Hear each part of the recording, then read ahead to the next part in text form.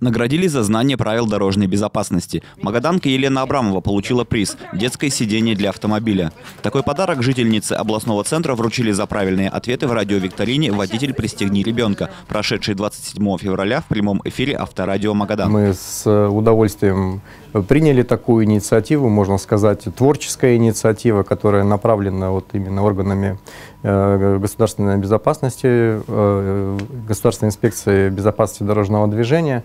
Э, это хорошо, что они ищут такие нестандартные подходы, и мы только их поддерживаем, и в дальнейшем, я думаю, тоже будем принимать участие. Всего викторина состояла из шести вопросов, касающихся детской безопасности в автомобиле. Участникам предлагали объяснить понятие перестроения, а также рассказать о системе крепления детского автокресла «Изофикс».